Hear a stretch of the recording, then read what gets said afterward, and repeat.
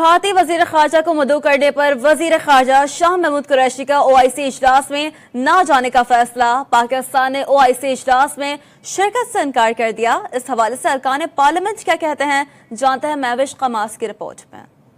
بھارت کو مدعو کرنے پر وزیر خارجہ شاہ محمود قریشی نے او آئی سی اجلاس میں نہ جانے کا فیصلہ کر لیا ہے۔ پاکستان نے او آئی سی اجلاس میں شرکت سے انکار کر دیا۔ اس حوالے سے ارکان پارلیمنٹ کیا کہتے ہیں، آئیے ان سے جانتے ہیں۔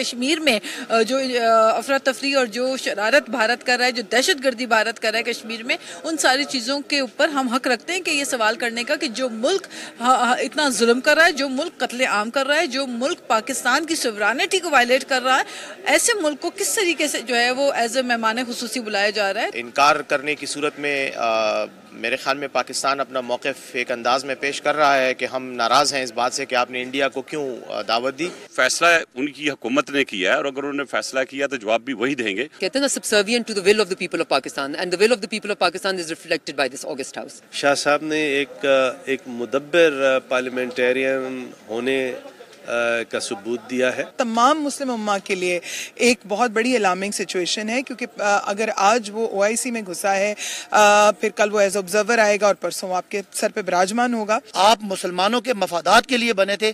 انڈیا کشمیری مسلمانوں پہ ظلم جبر اسٹیٹ ٹیررزم کر رہا ہے اور آپ اگر انڈیا کو اس میں بلاتے ہیں تو یہ اسلام کی خدمت نہیں ہے، یہ مسلمان ملکوں کی خدمت نہیں ہے اور اگر او آئی سی یہ کرتی ہے تو اس ہمیں یہ او آئی سی کا جواب چاہیے تھا، ہمیں او آئی سی کشمیریوں کے مظالم پہ او آئی سی نہیں چاہیے تھا۔